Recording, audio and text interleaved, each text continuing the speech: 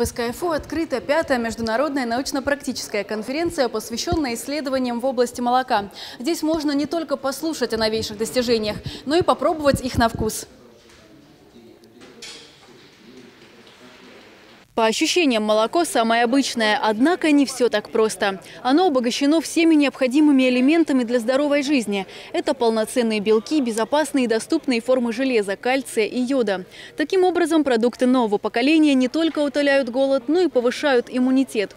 Оценить и попробовать разработки ученых из КФУ приехали 150 специалистов, в том числе из Азербайджана, Беларуси, Болгарии, Испании, Словакии и Чехии. В рамках конференции ученые хотят не только познакомиться с технологиями, технологиями, но и поделиться опытом. Прежде всего хочется сказать, что установление контакта а, и те, более тесного сотрудничества между ведущими научными школами в области пищевой биотехнологии – это одна из очень важных тем и проблем э, научного обеспечения молочной и пищевой биотехнологии. Имя Владимира Харитонова широко известно среди академиков и ученых. Его разработки, наряду с другими российскими технологиями, активно используют в производстве не только в нашей стране, но и за рубежом. В той же Словакии предприятия с десятилетним стажем работы предпочитают опираться на труды российских ученых.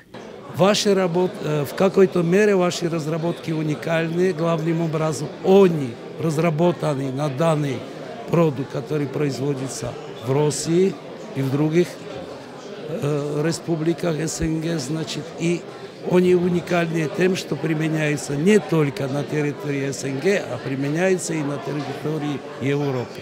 Среди представителей еды будущего особенно интересна сдоба переменка. Этот продукт не навредит фигуре и даже наоборот. Умный хлеб способствует снижению веса, а при излишней худобе помогает наращивать мышечную массу.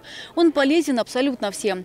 В 100-граммовой порции есть все нужное для здоровья взрослого человека. Это суточная норма белка, железа, кальция, аминокислот и йода.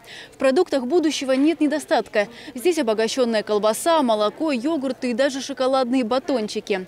Еда будущего повышает иммунитет и выносливость организма, а также позволяет быстрее восстанавливать силы. Анастасия Романова, Роман Солодовников, Александр Лукияшко. АТВ Ставрополь.